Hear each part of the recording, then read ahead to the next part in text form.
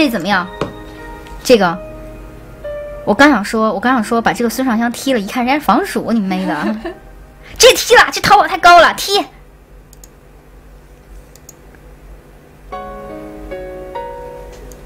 我没买马超，不打置顶，不打置顶，那个随机加点将打什么置顶？进卡自己房间进卡，在自己房间点左慈，扇嘴巴子，赶紧随机加房，随机加，没有规则，对吧？然后，然后这这房间人太少，换一个，看看看看坑，爱坑谁坑谁。哎，就这就这个吧，把欢英踢了，你妈用黄英的秀是不是脑残？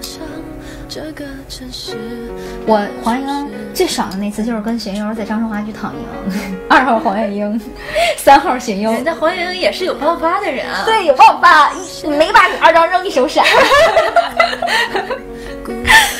哎呀，那盘录像我都留着呢，等我有空做啊，把踢了。看看这种屌丝秀就踢了，这秀挺忙，就这样啊，好远呢，多好呀！你终于不当二号位忠臣了。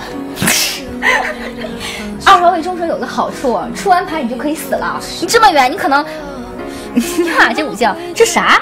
我没买潘峰，怎么会出潘峰呢？啊，就是你国战买了潘峰以后，他也他也会出这，他那个在身份局哎呦还不错。嘿，我操，贾诩开的大。没事，吴哥泰呢？哎，你说你说这这手牌这手牌，我需要一个郭淮的化身，什么？徐庶，徐庶了。无言，多好呀！你可以买呀，买买马超呗。那个新马超剑突的马超比原来马超要强一些，谁他妈有红桃给他扔啊？所以就是就是第一轮扔张红桃牌，以后就百分之百掉血。我觉得，就算是你看咱们火攻，一般火攻的话，你为了逃逃过火攻，你要么亮黑桃，要么亮红桃，因为红桃往往都是些桃子之类的牌。徐庶不错，不耽误你。哎，我太不想跟贾诩一帮了。这位是贾诩反有蛋用。你说这郭嘉，你说这虞姬，这这这虞姬干啥呢？这虞姬，好吧，好吧，树霸是反求抱大腿。嗯，你说这郭嘉，这贾诩，他要跟我一会儿，我可怎么活呀？贾诩肯定砍你一刀，来吧。你妹呀！我闪，我闪闪闪。没闪我待会儿把孙权的简易马撸了，牛逼！你知道吗？回合内有刘封，回合外挂一个破烂儿。郭嘉那位置就是不脑残。哎，他开五谷，可以放大了。哥，我拿沙，我不要决斗，决斗对我来说没有用啊。卖出个张盒也行，跳过乐不思蜀。拿杀，拿杀，拿杀，拿杀。你挑个杀吧，哪个人输一回合，一回合就把自己打虚，然后就裸奔等大师给他撸。但是很有可能这贾诩拿了个 K 点的红杀，哎，我我不能拿牌，我操，无言了，好吧，别在这儿做梦了。嗯，你正常想象来讲，应该是贾诩轮回大师，他都不留人数，这个跳中了。嗯，虞姬是个小内，不该是鲁肃是忠臣吧？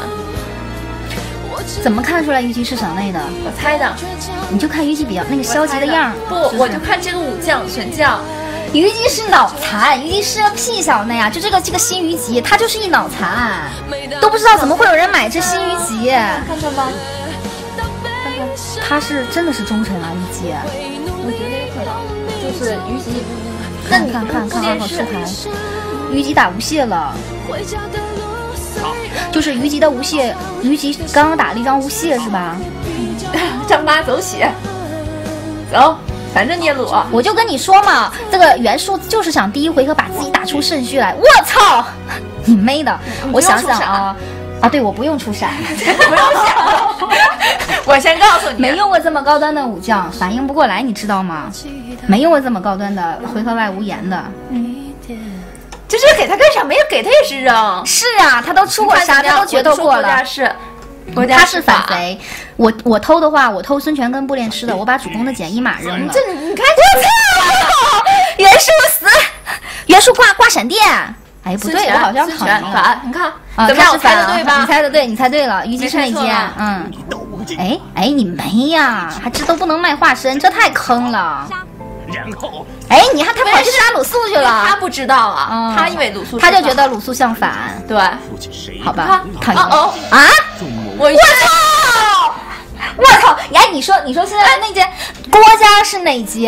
郭郭家家，郭家，孙权郭家卖袁术什么，然后，然后乱舞的时候，他去砍孙权。孙权孙权，什么孙权生的是什么？看看，这太坑了，啊生个白生衣狮子，怎么也死了？真不一定，不一定。我无中生有能看出距离的话，是啊，嗯就是嘉许乱舞啊。你说你说虞姬可能快跑，太他妈坑爹了！这是黑房吗？不是，这太坑了。不，路人觉得那一间，你说那间想不想赢？你想赢，你就正常玩儿，你正常玩儿，你肯定有机会赢。你不能这么打呀！你这么打，你有机会赢吗？主公死了，大家一起死啊！你看郭嘉还卖给卖给袁术两张牌，然后袁术还扔了扔了挂一个闪电，扔一个闪电，是吧？挂一个闪电，扔个扔个扇子，扇子啊、挂闪电扔个扇子，我操！